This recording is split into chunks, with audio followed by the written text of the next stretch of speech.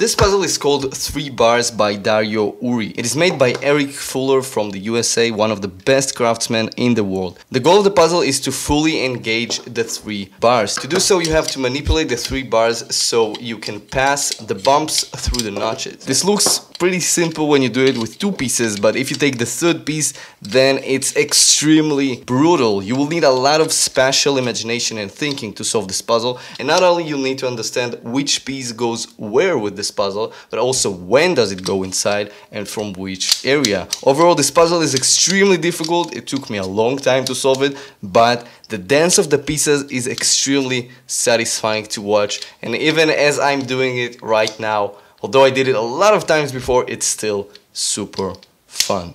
And this is how you solve it.